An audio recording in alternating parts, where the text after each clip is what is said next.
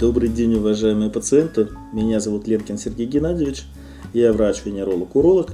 Сегодня мы поговорим о том, как записаться на прием к венерологу. Врач-венеролог – это врач, который занимается в основном половыми инфекциями, в ряде случаев их осложнениями, в частности, диагностикой и лечением половых инфекций. При каких симптомах наиболее часто необходимо обращаться к венерологу? Ну, это краснота и отечность в области половых органов. Это какие-то высыпания в области половых органов. Это зудожжение гениталий в покое, зудожжение при мочеиспускании, зудожжение при э, сексуальной связи. Э, это, соответственно, выделения. Выделения могут быть прозрачные, могут быть выделения в виде гноя, в виде слизисто-гнойных выделений. Может быть увеличение паховых лимфатических узлов. У женщин может быть усиление менструальных кровотечений.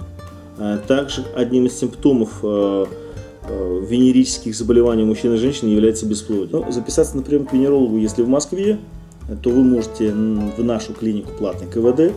У нас принимают опытные венерологи. Записаться можно а, непосредственно на сайте путем заполнения формы, где нужно имя и ваш телефон, либо позвонив в клинику.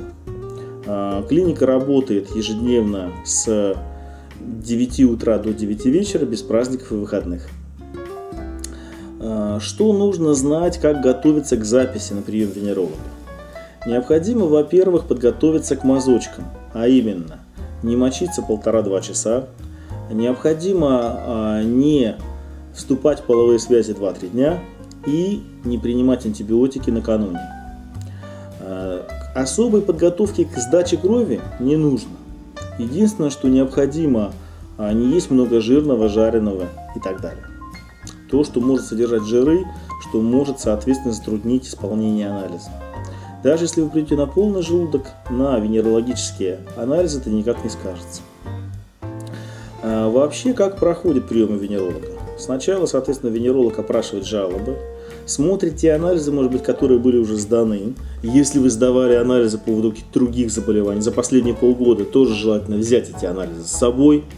Нужно выписать все лекарства, которые вы применяете в настоящее время, особенно недавно, чтобы сказать врачу, что конкретно вы пьете. Если вы что-то уже лечили, какое-то заболевание, с которым вы приходите к венерологу, нужно взять его схему лечения, старые анализы и так далее.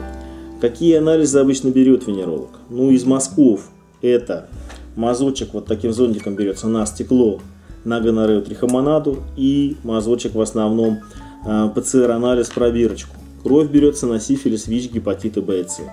Однако в ряде случаев эти анализы, конечно, дополняются многими другими, и это решает на приеме венеролог.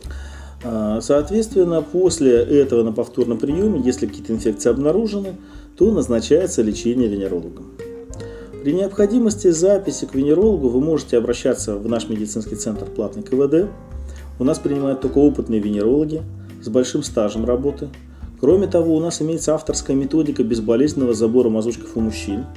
Мы сотрудничаем с пятью различными лабораториями Москвы, что дает нам возможность использовать преимущества каждой из лабораторий, а также иметь самый широкий спектр а, анализов на венерологические заболевания в Москве. Поэтому при необходимости приема венеролога, сдачи анализов у венеролога и лечения ждем вас в нашей клинике платной КВД. Спасибо за внимание.